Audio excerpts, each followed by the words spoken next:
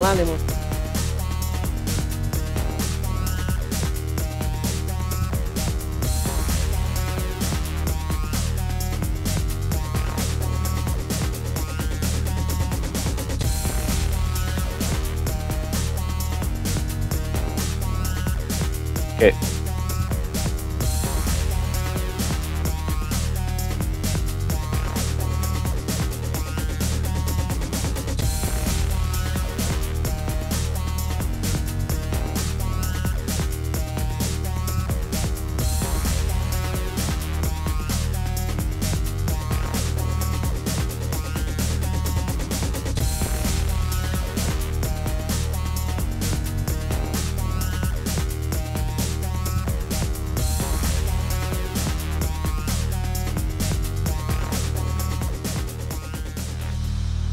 Oferecimento LG, fazendo parte do seu dia, todos os dias. HostGator, seu site sempre no ar. Acesse hostgator.com.br. Olá, pessoal. Agora sim, estamos aqui ao vivo para a edição de hoje do nosso boletim Olhar Digital News. Agora são 19 horas e 48 minutos, pelo horário de Brasília. E como vocês já sabem, hoje foi dia de lançamentos da Samsung, não é? Muitas novidades direto de São Francisco, na Califórnia. Nós acompanhamos tudo de pertinho, com uma transmissão com tradução simultânea em todas as nossas plataformas. Vocês conseguiram acompanhar? Não? Então vocês vão acompanhar a novidade aqui. E agora nós vamos ao vivo aos Estados Unidos falar com o Rui Maciel, que conferiu de perto as novidades apresentadas hoje. Vem aqui comigo, deixa eu colocar ele aqui na tela para vocês. E aí nós vamos falar um pouco sobre esse lançamento. Vamos lá? Olá, já estou com você, Rui. Boa noite. Tudo bem com você? Aliás, é boa tarde, não é? Boa tarde, Marisa. É, na verdade, sim, boa, boa noite ao pessoal do Brasil, a todos os leitores e seguidores do Olhar Digital. Agora são 2 horas e 47 minutos aqui em São Francisco. E a atração principal aqui da cidade foi o Unpacked 2019, né? Foi o, o, o, a apresentação do décimo, da décima edição do Galaxy S10, aqui na, do Galaxy S, da linha Galaxy S, que tem o nome de Galaxy S10. Mas é, o que despertou a curiosidade de todo o público foi o Galaxy Fold, que é o primeiro smartphone dobrável da Samsung. É, ele foi apresentado agora num modelo, uma, numa versão mais bem acabada, numa versão com mais detalhes. E olha, Marisa, foi um aparelho que, que nos impressionou bastante. É um aparelho com um aparelho bastante poderoso, com uma tela de 4. Ele, ele é um smartphone com uma tela de 4,6 polegadas, que se transforma num tablet de, com uma tela de 7,3 polegadas, configurações bastante poderosas, seis câmeras e é um dispositivo que promete agradar bastante quem gosta de, de, de, de, de ter praticamente o um computador nas mãos. É, a Samsung não, não, não liberou muito mais detalhes a respeito do, do aparelho, na questão de configuração, mas, um aparelho, mas já prometeu que o aparelho não vai ser muito barato. Ela anunciou que o aparelho vai custar um pouco, mais, um pouco menos de 2 mil dólares. E ele, ele começa a ser vendido no dia 26 de abril nos Estados Unidos, inicialmente na Coreia. Mas, apesar da curiosidade que o Galaxy Fold tenha, gerou né, entre o público, o protagonista da vez, o aniversariante da vez, foi o Galaxy S10. Ele foi apresentado em quatro versões aqui, aqui durante o evento, e três, sendo que dessas quatro versões, três serão vendidas no Brasil. É o Galaxy, S, é o Galaxy S10e, o Galaxy S10 e o Galaxy S10 Plus. E a gente viu e a gente testou bem de perto o aparelho, e agora a gente vai trazer um vídeo para vocês explicando qual é a diferença entre cada um. Confere só.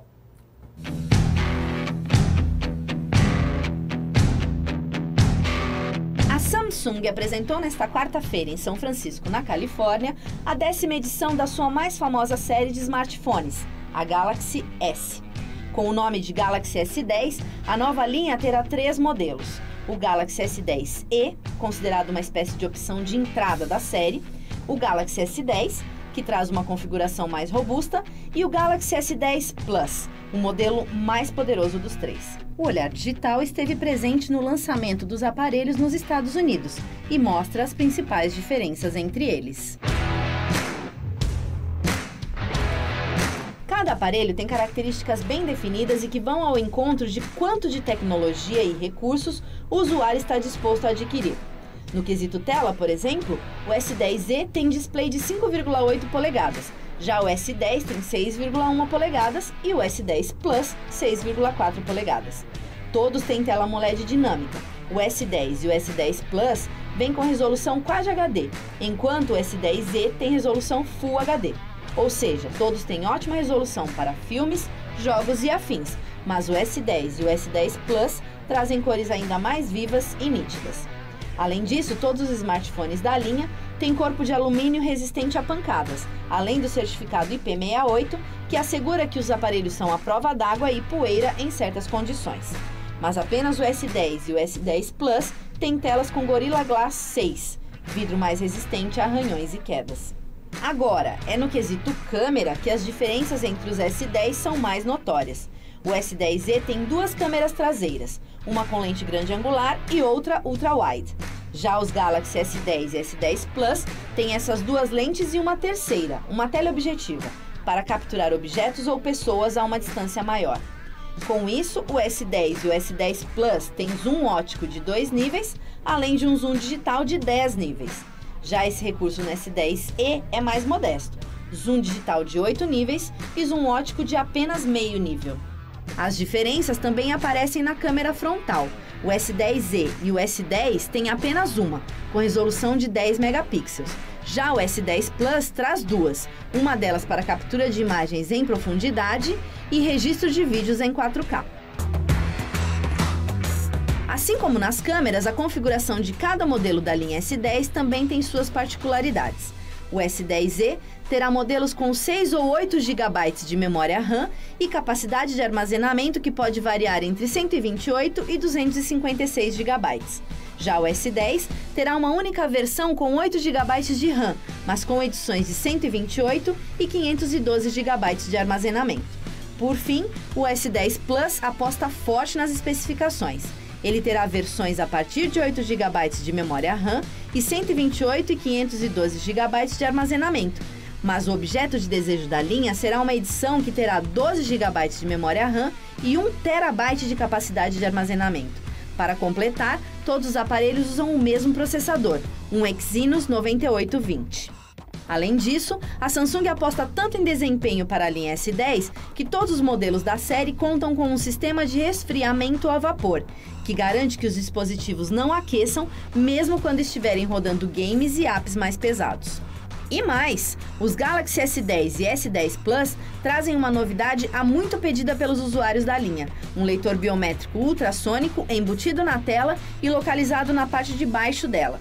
Segundo a Samsung, esse recurso faz um reconhecimento em 3D e identifica com muito mais precisão um dedo real para impedir tentativas de acesso fraudulentas. Para completar, vamos falar da bateria, que também é diferente para cada modelo. No S10e, que tem especificações mais modestas, a bateria tem capacidade de 3.100 mAh. Já o S10 tem um pouco mais de autonomia, são 3.400 mAh. O S10 Plus, até por sua configuração, é o que tem melhor bateria, 4.100 mAh. Em comum, todos os aparelhos da série suportam o Fast Charging, ou seja, o carregamento rápido de bateria. E os três ainda trazem um recurso bem legal, o Wireless Power Share.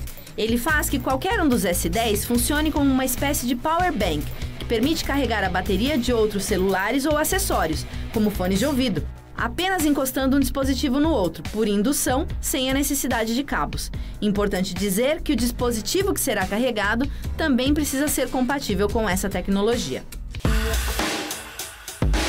Por enquanto é isso, pessoal. Logo mais traremos para vocês um hands-on de cada dispositivo da linha S10 para falar mais sobre cada um deles. Continuem ligados aqui no Olhar Digital para saber mais. Até lá!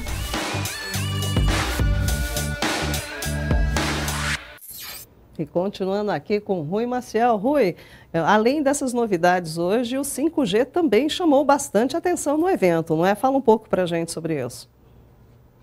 Oi, Marisa. De, sim, de fato, a Samsung apresentou hoje também o Galaxy S10 5G, é, mas foi uma apresentação, digamos assim, um pouco mais tímida. Ela não entrou muito em detalhes, até porque as, as redes 5G elas ainda estão em implementação em boa parte do mundo.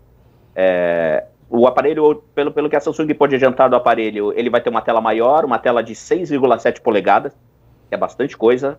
Ele vai ter uma bateria também um pouco mais poderosa, uma bateria de 4.500 mAh, e a câmera traseira dele, ela, vai, ela, vai, ela tem capacidade também de poder fazer fotos em 3D. Mas fora isso, a Samsung também não entrou muito mais em detalhes, ainda é um aparelho que é um aparelho que será começado, eh, ele vai começar a ser vendido primeiro na Coreia, é, inicialmente na Coreia, onde, a re, onde, a, onde as redes 5G já estão mais, a instalação dessa, desse tipo de rede já está mais adiantada, e, e posteriormente aqui, também vai ser vendido nos Estados Unidos, Austrália e na Europa.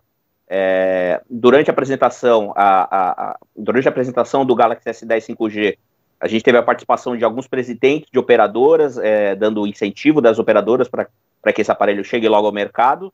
Mas, como, como eu disse anteriormente, ainda é uma apresentação tímida, ainda é uma apresentação, é, digamos, sem tantas informações. Até porque a gente ainda não tem uma data exata de quando, de quando de fato, esses aparelhos começam a ser vendidos, de quanto, de fato, rede, as redes 5G começam a operar na, na, sua plenitude, começam a operar com força total. Mas, é uma, mas já é uma, uma, uma, uma novidade bem legal, já é uma coisa bem interessante.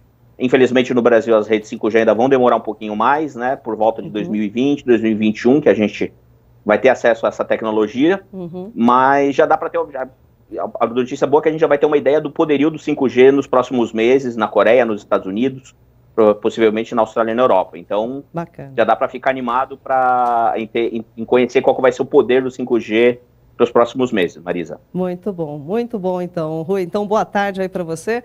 Muito legal, obrigada pelas informações. Então é isso, pessoal. Olha, o Rui Maciel aí direto de São Francisco, na Califórnia, onde foram apresentados aí todas essas novidades. Bom, vamos aos destaques do dia de tecnologia? Pois é, vamos começar aqui com as outras notícias. Começando, olha só, pelo nosso aniversário. Pois é, hoje é uma data muito especial para nós do Olhar Digital, nós comentamos ontem.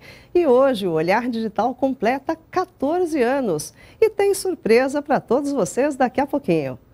E o 5G está mesmo virando o centro das atenções. Tem novidade da Qualcomm que promete acelerar a chegada de novos aparelhos. A atualização do Windows. Veja o que mudou no sistema da Microsoft. E tem ainda um smartphone que vai ser vendido exclusivamente aqui no Brasil. Estranho? Bom, daqui a pouquinho todos os detalhes para vocês. Pessoal, 19 horas e 59 minutos já pelo horário de Brasília. Olha como o tempo voou. Em instantes vocês conferem todas as notícias do dia de tecnologia nesta quarta-feira, dia 20 de fevereiro. Eu volto com vocês já já em 45 segundos.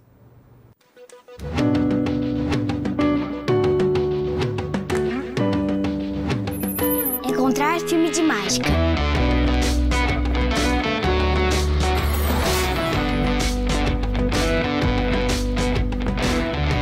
Mostrar clipe de rock. Só as TVs LG têm a tecnologia ThinQ AI, a inteligência artificial que ouve e responde seus comandos de voz em português. Como está a previsão do tempo hoje?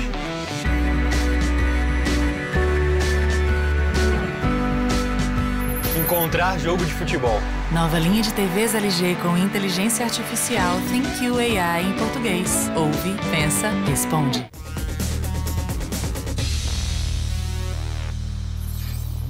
A tecnologia 5G está chegando e um anúncio de hoje promete acelerar ainda mais as coisas. Confira.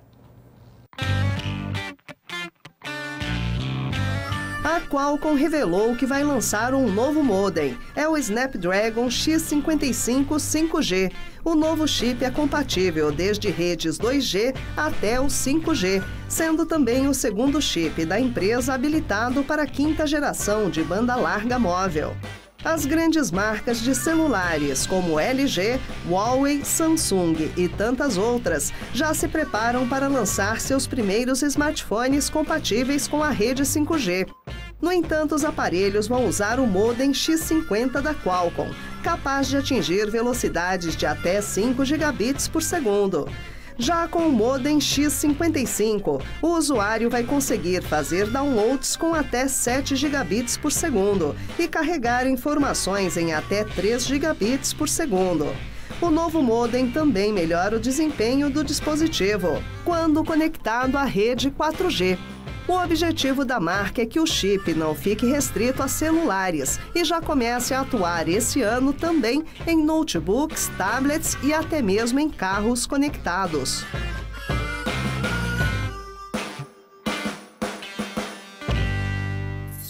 E vem aí um smartphone que vai ser comercializado apenas no Brasil. Pelo menos é o que promete a fabricante Asus. Vejam os detalhes. Asus estaria trabalhando em conjunto com a Qualcomm para lançar o primeiro smartphone brasileiro com o chip QSIP. A nova tecnologia reúne em uma única peça os principais componentes de um celular – o que deixa o processo de produção de um novo aparelho muito mais simples para os desenvolvedores. Durante uma live no Instagram, Marcel Campos, diretor global de operações de marketing da Asus, confirmou que esse lançamento será feito no dia 13 de março e reforçou que o aparelho não será vendido em nenhum outro lugar do mundo, somente no Brasil.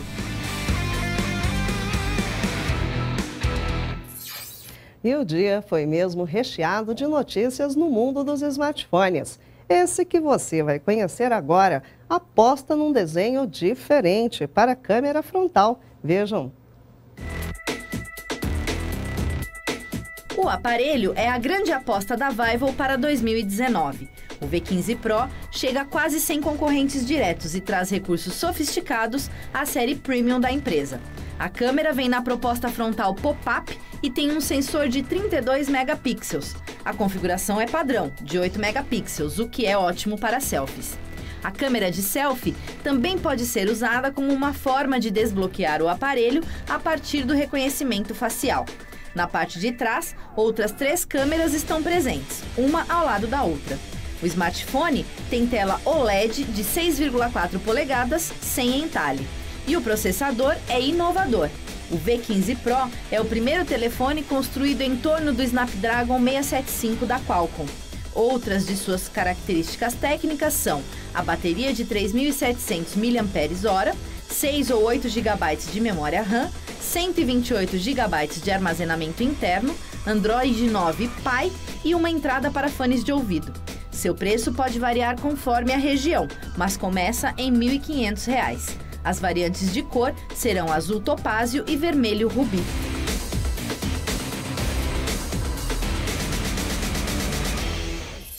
Diferente mesmo. Bem interessante essa ideia da câmera que salta, não? E no meio de tantas novidades para o mundo dos celulares inteligentes, a Apple, quem diria, começou a vender novamente o iPhone SE nos Estados Unidos. O modelo, digamos, mais antiguinho, é a esperança de melhores números para a maçã, que enfrenta um período de baixa. O iPhone SE, modelo de 2016, voltou discretamente para as lojas da Apple nos Estados Unidos. O telefone parou de ser vendido em setembro, com os iPhones 10 e 6S, logo após o lançamento dos aparelhos iPhone 10S e iPhone 10E. Quem optar por comprar o smartphone vai poder escolher entre as opções de 32 e de 128 GB, que devem chegar às lojas custando entre 100 e 150 dólares. As cores disponíveis para o consumidor vão ser cinza, rosa, dourado e prateado. Ao ressuscitar o iPhone SE, a Apple traz uma opção acessível para os clientes e coloca à venda um smartphone com qualidade e recursos avançados. No site oficial da marca no Brasil, a Apple ainda não mostra o aparelho entre as opções de compra.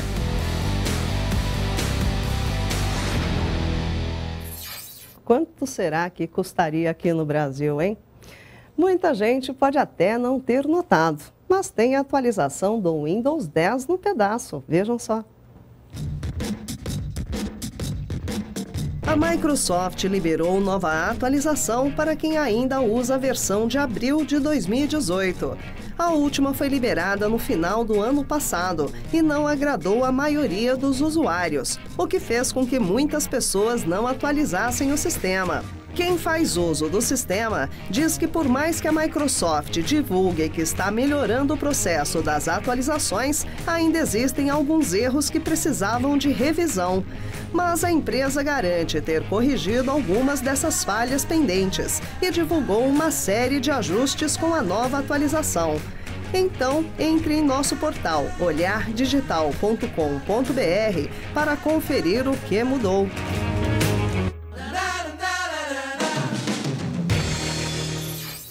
O Android Auto, assim como o Apple CarPlay, estão presentes em mais e mais modelos de automóveis. E hoje o Google anunciou uma boa atualização para o Android.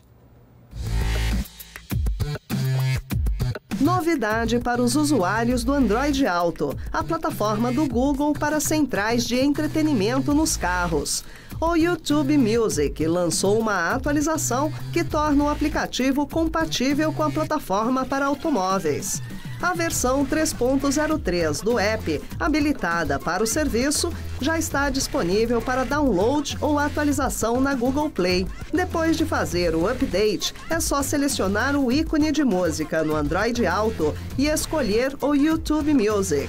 Ah, e tem um detalhe: a função é exclusiva para assinantes do serviço.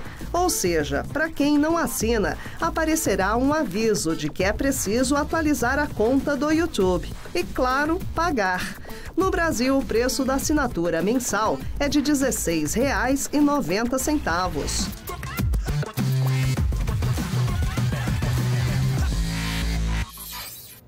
E agora, a principal notícia do dia. Não, pessoal, é brincadeirinha, não é principal não, mas é uma data muito especial para nós aqui do Olhar Digital. Há exatos 14 anos, no dia 20 de fevereiro de 2005, nossa história começava com um programa de TV. O tempo voa, não é? E olha, para comemorar, nós preparamos um rápido remember de todos esses anos. Vejam só.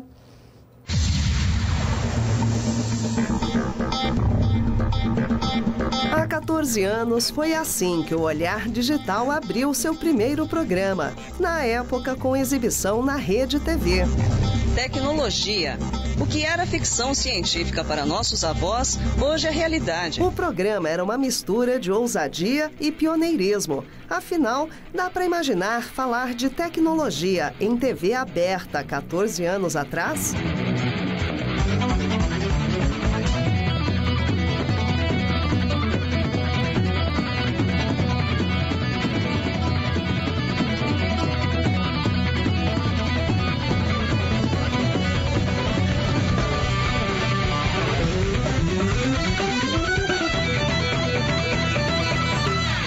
Internet trouxe o universo da tecnologia para o dia a dia. O que começou como uma ideia para levar informação de tecnologia ao grande público brasileiro, primeiro ganhou forma como um programa exibido nas tardes de domingo.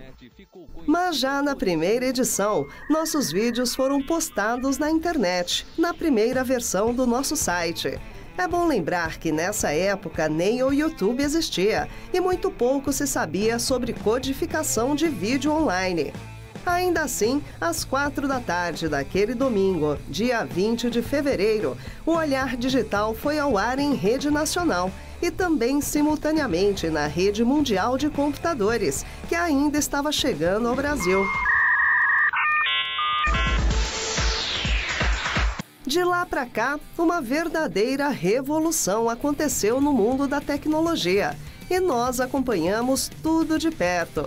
A internet se transformou no que é hoje. Os computadores eram o centro da vida digital e aos poucos foram cedendo lugar para os smartphones. Os CDs que apareceram como quase novidade no nosso primeiro programa, hoje são coisa do passado, com os serviços de streaming. O vídeo, a televisão e até o cinema ainda estão passando por revoluções também graças ao streaming.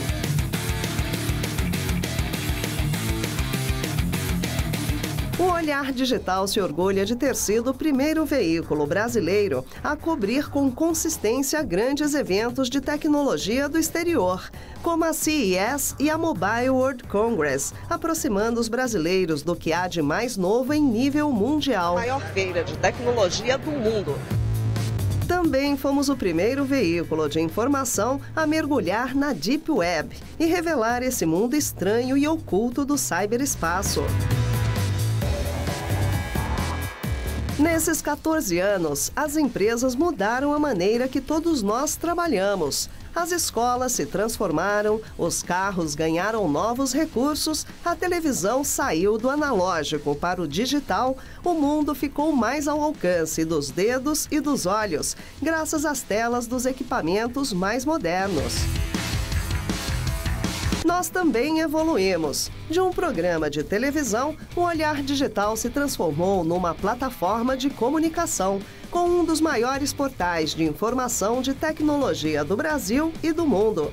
Uma das maiores comunidades de tecnologia no Facebook e no Twitter. E como provedor de conteúdo para vários parceiros, como o UOL e a Band News FM, onde respondemos pela coluna de tecnologia. Agora, com a aproximação de um novo ciclo de inovação que vai chegar junto com a tecnologia 5G, o Olhar Digital se prepara para continuar a levar a melhor informação de tecnologia a todos vocês. Nossa missão é conectar pessoas e empresas ao futuro. E como vocês já sabem, desde o nosso primeiro programa, o futuro passa primeiro aqui.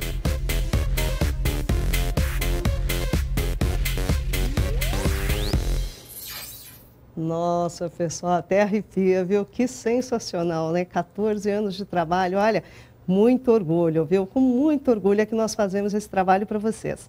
E olha, toda comemoração que se preze tem que ter presente, não é verdade? E nós preparamos um para todos vocês que nos acompanham todos os dias. Nas próximas horas vocês vão conhecer o novo olhar digital. Pois é, deem só uma espiada no que vem por aí. Muito mais que um novo layout. O novo portal olhardigital.com.br vai trazer grandes novidades que vão muito além de um simples redesenho. Foram quase 12 meses de desenvolvimento para criar uma das páginas de mais rápido carregamento da internet brasileira. Com o novo site no ar, você vai poder experimentar essa velocidade os artigos carregam quase instantaneamente e não importa se você está acessando num computador, num smartphone ou num tablet. As páginas se ajustam automaticamente para oferecer sempre a melhor experiência. Mas é claro que não é apenas uma questão de velocidade. No novo olhar digital, a informação está muito melhor organizada a começar pela nova homepage. Logo no alto, um menu simples e intuitivo, que você pode usar para passear por várias áreas. Logo abaixo, seis destaques trazem os principais temas do momento, escolhidos pelos nossos editores. A seguir, do lado esquerdo da tela, a lista com as notícias mais quentes do momento. Ao lado, as dicas e tutoriais que facilitam a sua vida digital. Mais abaixo, nossos colunistas ganharam destaque, com artigos aprofundados e visões únicas do mundo da tecnologia. Logo em seguida, você encontra os destaques em vídeo, com as últimas publicações. Os reviews de produtos também ganharam destaque especial. Aqui, todos os dias, você encontra um review novo. E se você quiser navegar por nossas editorias, elas agora estão agrupadas aqui. As páginas internas também ganharam um novo desenho, que favorece a leitura. A área de comentários também foi favorecida, ficando mais próxima do texto. Nas páginas de vídeo, mais espaço para visualização, com uma janela de exibição maior.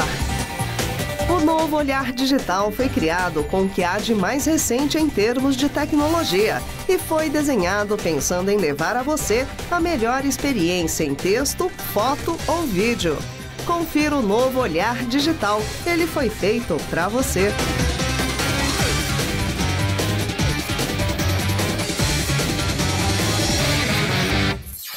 Olha, com muita ansiedade aqui para ver o novo site no ar. Mas olha, pessoal, nas próximas horas vocês conhecem o novo Olhar Digital. Mas a virada da chave mesmo para o novo site, ela vai ser feita durante essa madrugada. Como se trata de uma operação bastante delicada, que eu imagino que vocês saibam disso, já que está tudo novo, nós preparamos, preferimos, aliás, deixar para fazer isso nesse horário, de madrugada, para ter certeza de que tudo vai correr bem, na é verdade? Tem que ter uma precaução. Então, se você for dos que dormem tarde, talvez já veja o novo portal daqui a pouco. Se não, amanhã, logo cedinho, já estará tudo novo, prontinho para vocês aproveitarem. Mandem seus comentários, combinado? Espero que vocês gostem.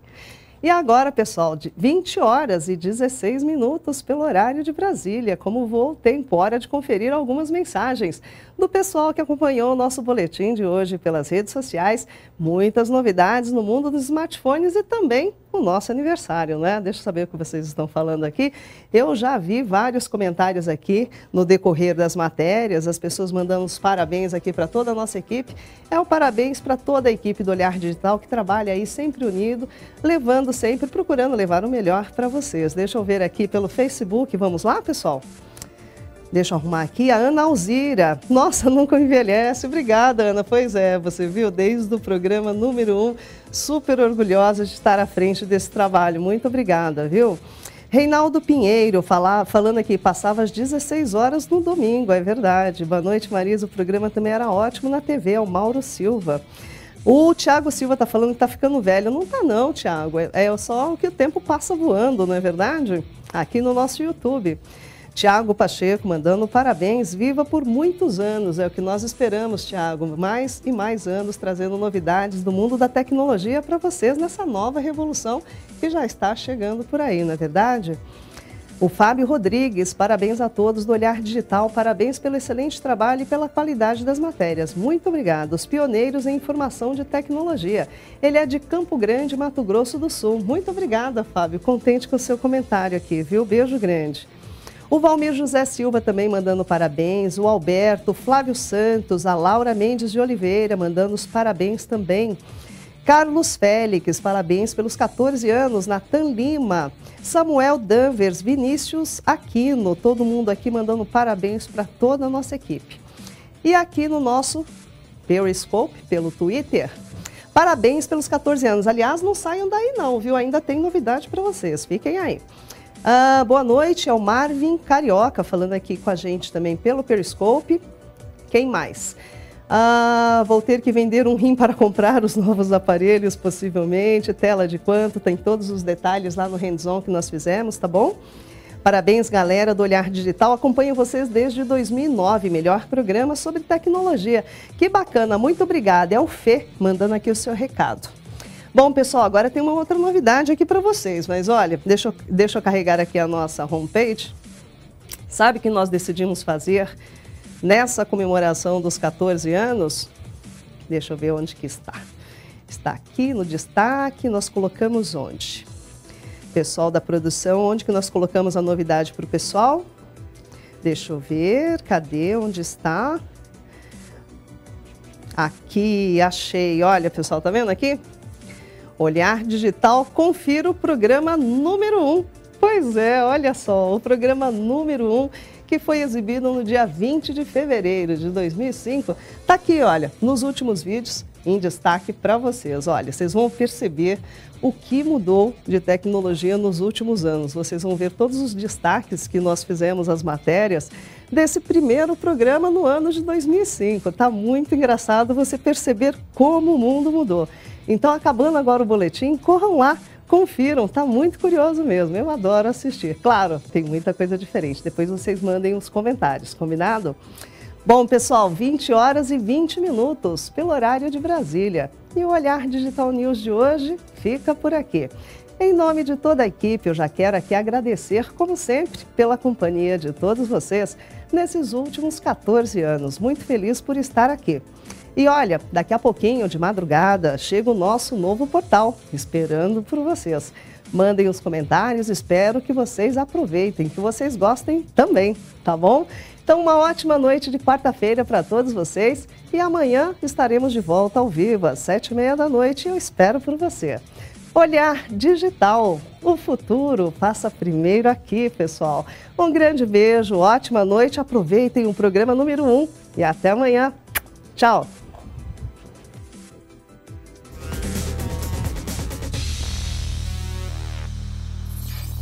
Oferecimento LG, fazendo parte do seu dia, todos os dias. HostGator, seu site sempre no ar. Acesse hostgator.com.br.